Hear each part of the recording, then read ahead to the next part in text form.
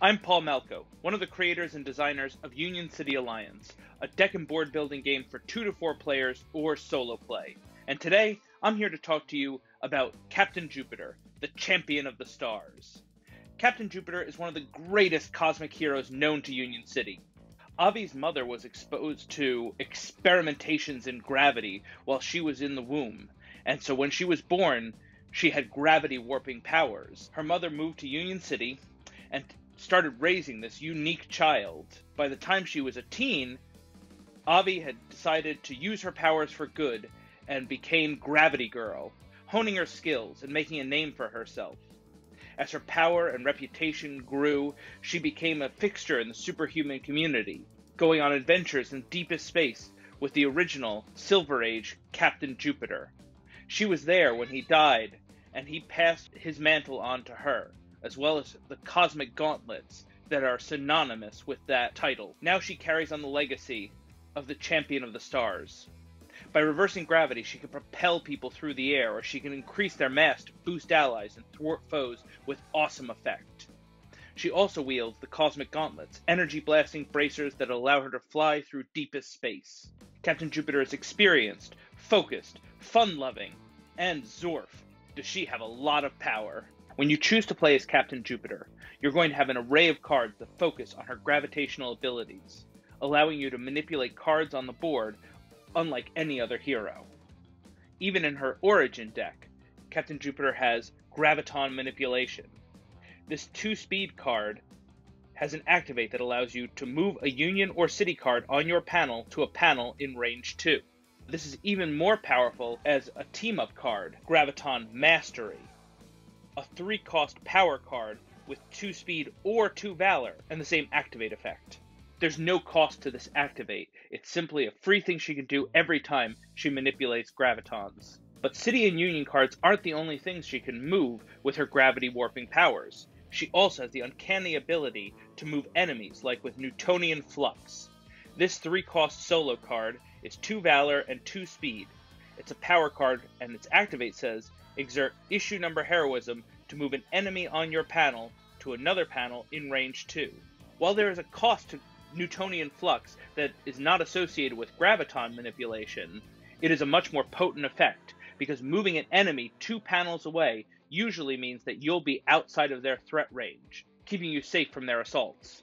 When you team up with Captain Jupiter, her most powerful team up card, Champion of the Stars, a 7 cost, 4 might, power and skill card, has the same activate. Captain Jupiter can even move all these kinds of cards at once using Realignment, a two cost, two valor power card that is a feat.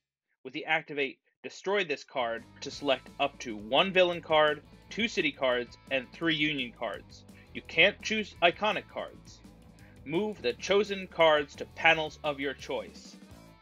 This ability to rearrange the board so dramatically is one of a kind to Captain Jupiter. And using this strategy is effective in a number of ways. For example, putting cards onto panels with bonus achieve effects, or clearing off more powerful panels like the City Hall to allow for their effects to be used without having to invest the valor to buy off all the cards. But gravity manipulation is only one part of Captain Jupiter's cache of powers. Her main role is as a brawler. Her character card ability, Increased Inertia, is an activate saying, if you defeat an enemy this turn, gain one heroism. This means every time she takes down an enemy, she's powering herself up for more and more of her solo cards, or the resources to use cards like Newtonian Flux.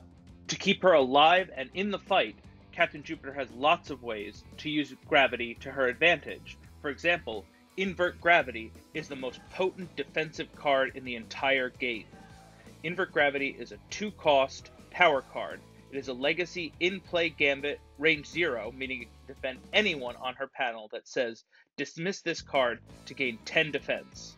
Even against Big Paulie T Rex, artillery strikes, basalt backhands, or ram raids from the Street Pirates. Inverting gravity will block all that damage. A truly incredible defensive card.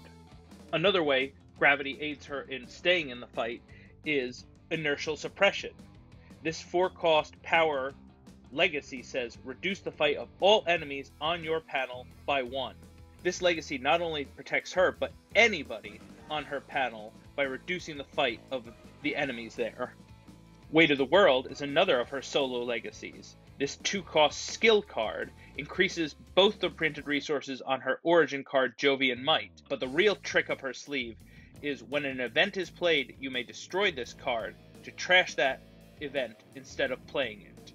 So, when a truly insidious villain card comes along and you cannot deal with it, it's easy for Weight of the World to get you out of that situation. But these defensive abilities are only one half of her super strategy. The other part is taking down foes left and right with cards like Summon Singularity.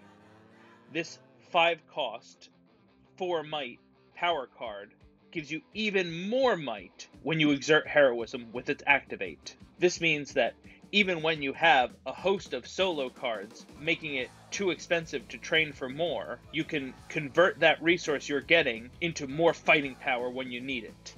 Beyond that, Crushing Momentum is a two cost, three might, one speed power card with an activate that gives you even more might as long as you use it on a panel other than when you started your turn on. This gives you the speed to move and extra might when you do.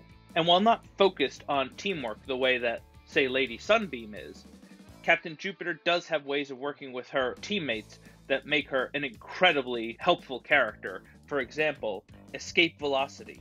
This two cost power card has an empower to allow you to discard this card to have another hero move to a panel within range 2 of their current panel. If they move this way, draw two cards. The ability to reposition allies in order to get them out of harm's way or to move them to an advantageous panel before their turn is awesome. But the extra draw will make Captain Jupiter one of the most popular characters on the board for that game. Playing Captain Jupiter gives you versatile capabilities, board control second to none, and a fighting prowess that'll knock any bad guys out of this world. Be sure to check Captain Jupiter out and play her right now in our free tabletop simulator demo on Steam. You can also learn more about her on our website and on our Kickstarter, which you should go to now and be sure to support before it ends. Thanks so much for watching. Check out more of our videos on YouTube, and as always, we'll see you in Union City, heroes.